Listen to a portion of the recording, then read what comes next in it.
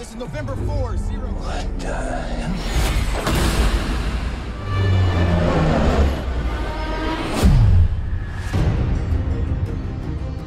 I'd had this idea of creating a zero G sequence for some time. Tom said, Yeah, we're gonna do it for real. We're gonna get on a real plane and we're gonna crash it. And I thought, this is just never gonna happen.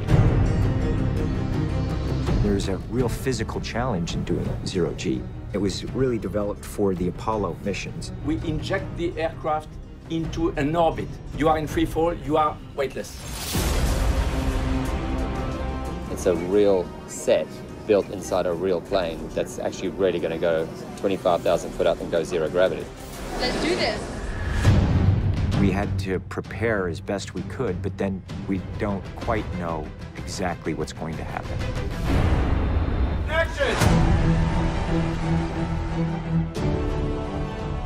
We want it to be wild and violent and spontaneous. For an audience, they're just seeing it's happening in real time. There's no edit, it's there. Oh my god, that's so good.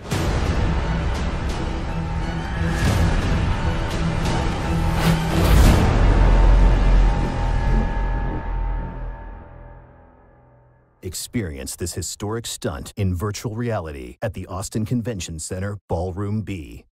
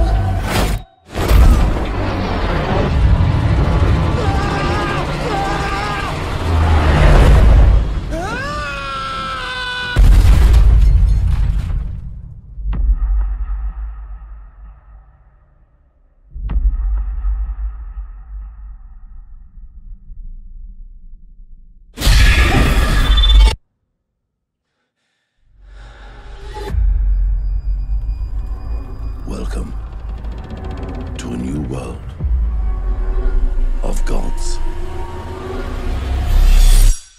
and monsters. I saw her. She is real.